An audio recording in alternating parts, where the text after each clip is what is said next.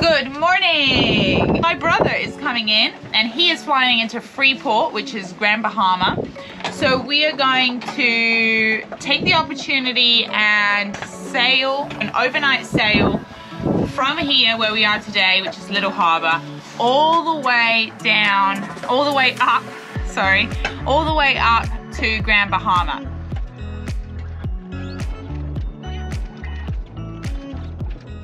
Right, well, we're at the bottom of the Abaco, and we're just coming around the corner. See these cliffs and these beaches. Look at this water.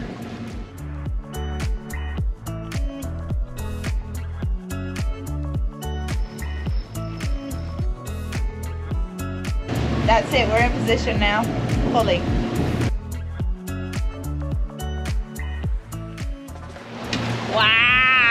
So happy that we got to see that. This is, when you get to see nature like that, this is what makes it all worthwhile. 5.30, time to go to bed. I'm exhausted, Nat's exhausted, the dogs are exhausted. We'll talk to you tomorrow. Night.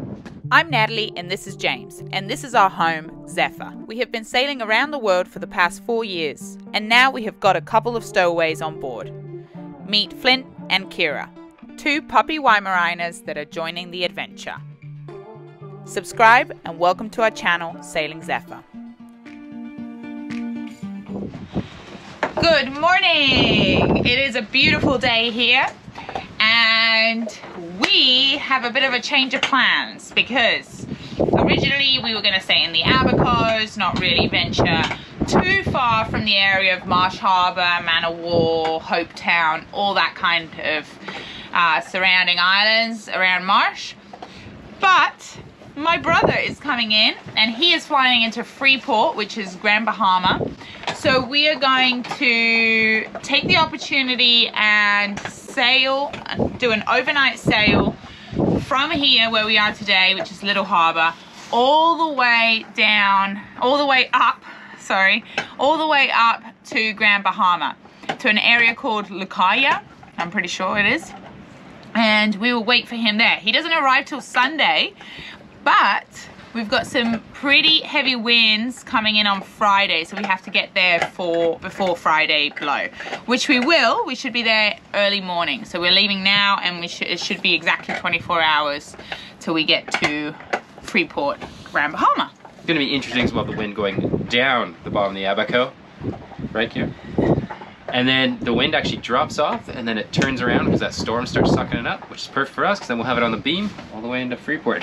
but let's hope that's what happens because yeah, it's gonna be a bumpy exit here at Little Harbour. Um, even in calm conditions, Yeah. it can be pretty wavy, but it should only be about an hour of it. And then we turn with it and we should be uh, downwind sailing for at least the first seven hours. Excellent. I'm not ready for an overnighter. No, now it's like I don't want to do an overnighter. I um, know. because we get too used to all these little day trips, don't we? I know. So, yeah. Yeah, your body's not ready for it. You don't sleep when you're meant to sleep, and it's just a mess up. So anyway, we won't sleep. We'll we'll get there and we'll probably sleep when, once we arrive. As we pick up anchor and prepare to embark on this overnight passage, we're reminded of the unique challenges and the excitement that lies ahead. Transitioning back to overnight sails after enjoying time off and becoming accustomed to day sails can be a significant adjustment. Little did we know we would have an encounter like no other later on that day.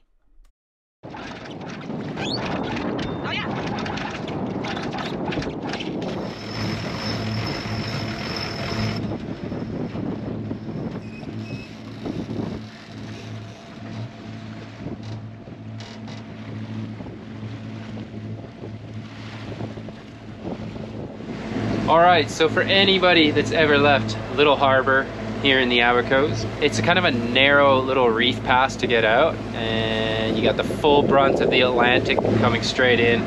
So um, good to have uh, some charts that are pretty accurate. And for us, so as you can see, we come down here, and then we gotta go through this little pass right here. And this will have all waves breaking over it for sure. So yeah, and then once we clear that, and we turn right and we're gonna head for the very bottom tip of the Abacos. We should be downwind sailing, we should have the swell tucked right in behind us. It actually should be a pretty comfortable passage, but we'll see.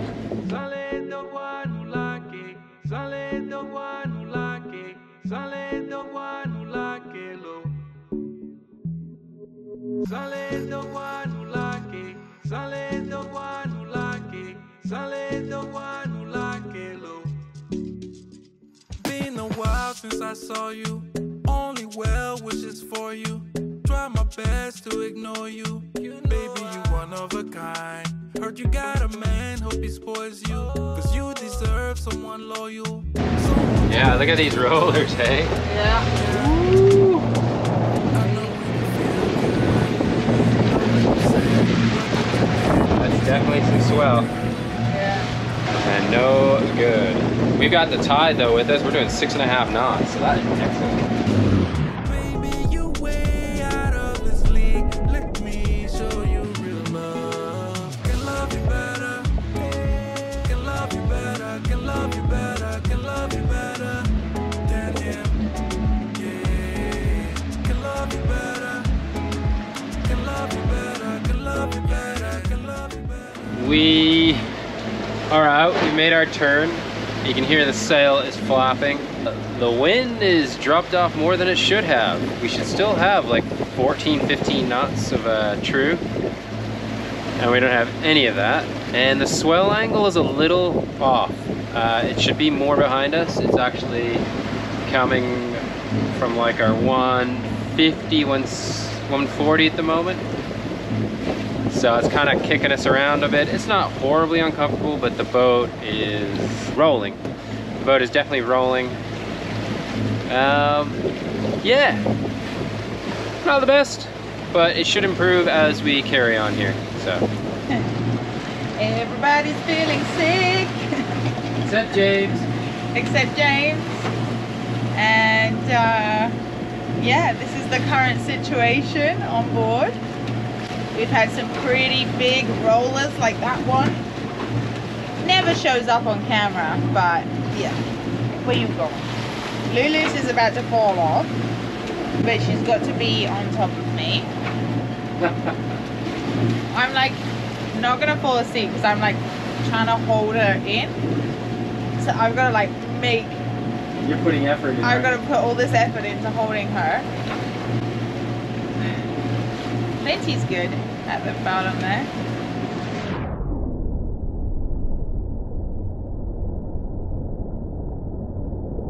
That's it, we're in position now, fully. Good night.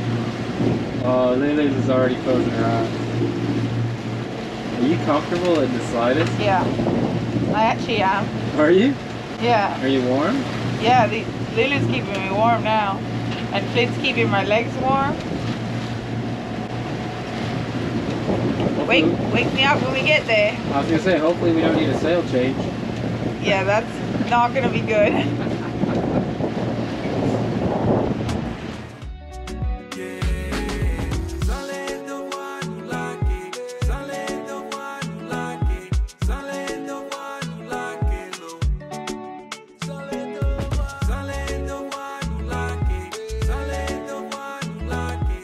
All right, well, we're at the bottom of the Abaco, and we're just coming around the corner. See these cliffs and these beaches. Look at this water at the bottom of the Abacos. I was just saying to Nat, I think this is the most beautiful water I've seen in the Bahamas in as long as I can remember. The blue is just, it's electric. It's so nice. The seas, as you can see, have chilled right out. It got a little messy when we first approached the point. Um, I guess there's the main swell driving in from the Atlantic, and it was kind of refracting off the rocks, and then maybe there's some contra- uh, or other swells sort of colliding. But it was like a washing machine in the boat for a few minutes. But now we're all settled. We've had the rod in the water for hours, no bites. The wind's meant to keep fading a little bit for a few hours, and then it picks up just after midnight, I think, and it should start coming on the beam. It would be nice to sail. I was expecting to sail this first bit, but like I said earlier, the wind angle wasn't quite right. and it was a little lower than it was expected. We were about five knots less than we should have had. So with the sea state, the sails just couldn't hold the air. So we've been motor sailing, which sucks. Looking like we're gonna get about five in the morning, um, maybe just as the light's coming up. Uh, maybe we'll slow down just a little bit as we get closer, but um, we've been in here before, so I'm comfortable going in in the dark if we do get in early. All right, couple of updates. Genoa's hanging like shower curtain because the wind has totally dropped off like we'd expected. Kira's having a wee on the bow, as she does. It is totally calm as you can see. The end of the Abaco. And off that way is Grand Bahama.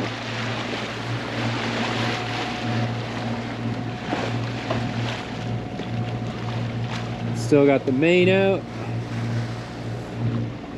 Inside, Kira. Come on. Good girl. Feeling much better now. Yeah. We got two trawling rods in the water, one on each side. So we're hoping that when we go across this, well, we're in the shallows right now, close to the island. Once we get out of that deeper water, that's when hopefully we'll hit something right in that crossover period. Yeah. We got cedar plugs on though on both. Yeah, we got a red and white one on one. Yeah, and then just a wooden one. So hopefully we catch something. And what's our secret weapon with the wooden one? we soak it in tuna or sardine oil. So Do you remember the last time we did that? yeah, we caught something straight away. Where did we do it? Do you remember? No. Here's a little trivia for the last five years. No. You're saying, when was the last time? There was one other time that we soaked, and it was a cedar plug in tuna oil right before passage. We had it was a 350 mile passage about three and a half years ago, and I'm not kidding. It was in the water 10 minutes, and we landed a massive fish. It was a huge tuna. When was that? In the med. What passage? I think to Sardinia maybe. Yes. Yeah, yeah. Correct. That's right. Ibiza to Sardinia. That was a horrible trip though. Yeah. Because that was the only good fortune we had on that whole trip was catching that. And then after that, it all went to pot because our autopilot died and we had to hand steer every hour. Uh-huh. We had to keep swapping. We were so tired Yep. for 32 hours or something. Yeah. When we caught that fish, that's when it all the weather started changing, remember? Yeah. Go back and watch that episode. I don't know how much we recorded of it. I don't think we recorded much. No? But no, because we were brand new and we were probably like, oh my gosh, we've got to figure this out. And Yeah. it would have been nighttime. I don't know. It's scary. Yeah, I don't think we would have done too much filming, but that's what happened on that. Yeah. That was one of the trips that I went. We're selling the boat. It's, It was so awful. it was. It was. It's not all beautiful rainbow and sunshines, is it? No. No. Definitely not. It's boiling on this side. Yeah. It's actually really cold on this side, so it's like a tale of two halves. Anyways, we're selling it. Genoa's doing nothing. But we're moving along at just over five knots. Something's happening in the wind. I gotta check the sails. We have got whales. Oh my god.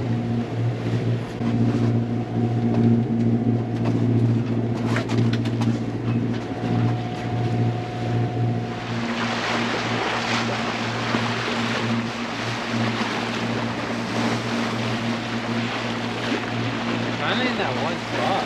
Oh, they're right in front of us now, too. No, where? Straight ahead. Oh, there, yeah. There's two pods. There's two pods. Yeah.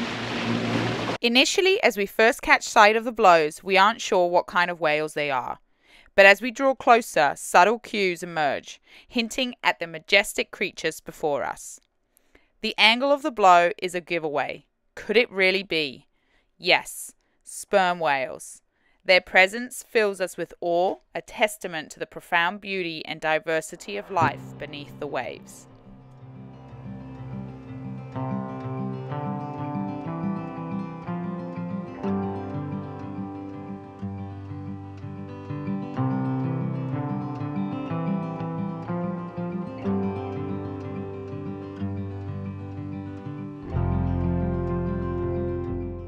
It feels incredible to be alongside these giants of the deep. They are the largest toothed predators on Earth, reaching lengths of up to 60 feet and weighing as much as 50 tons. They can also dive to depths of over 3,000 feet, hunting for their favorite prey, squid.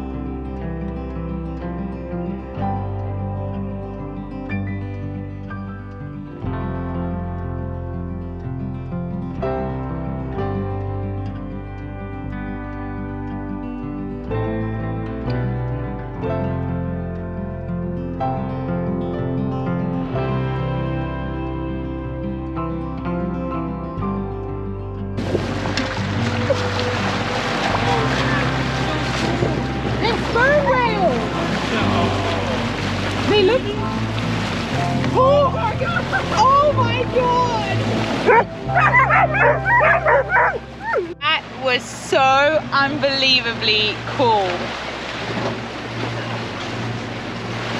That is the closest we've ever been.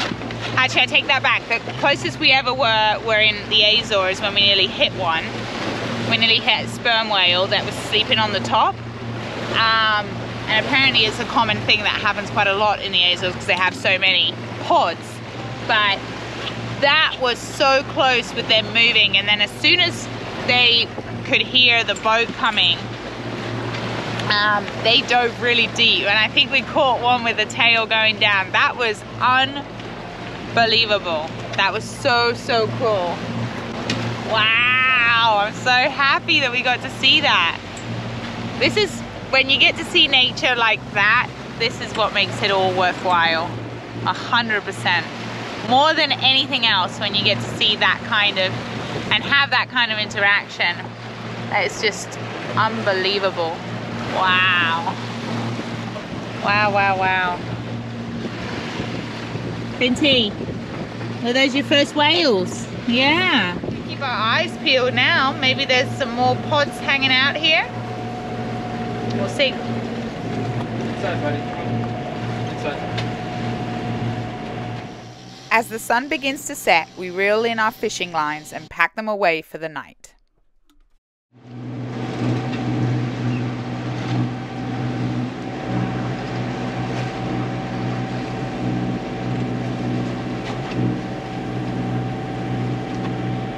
We've got full moonlight. Woo! Yeah, we've got full moonlight at the moment, so it makes our night passage really good because you can just see everything. All right, well, we are going along very well. Um, we've been on the road now for about 18 hours. It's three in the morning. We've got about another hour and a half until we arrive. Um, as you can hear, only wind and waves. The engine is off. We've had it off now for about an hour and a half, two hours, something like that. Um, the wind has finally started to fill in and we've got great sailing conditions. I think we've been averaging about five and a half to six knots. When we get a little bit of a gust, the boat starts doing about seven and a half knots, which is great. Um, the sea state's pretty flat, so I think that's why we're doing so well. Um, it's just starting to get bumpy now because I guess the wind is starting to fill in for this storm that's going to be coming later on this afternoon. But yeah, we will probably be arriving uh, just as it starts to get light, but a little little dark light, right on that sort of cusp. But we've been in here before; we know the entrance very well. So, and we have a full moon, so it's so bright out, which is awesome.